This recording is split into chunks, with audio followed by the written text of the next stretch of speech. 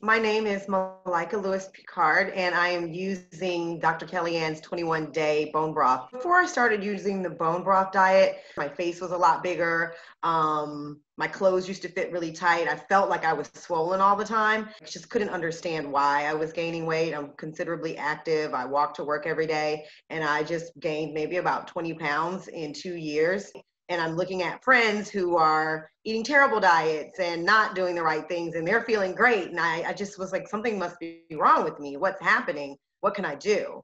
And that's what led me to try Dr. Kellyann's bone broth diet.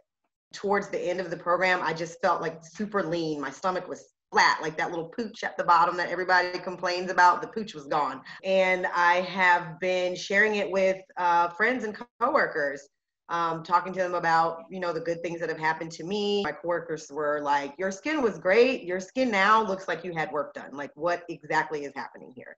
Um, they, they were like did you get lip injections? Did you like did, did you get a filler? What, what what did you do? And i was like girl it's the collagen all the collagen.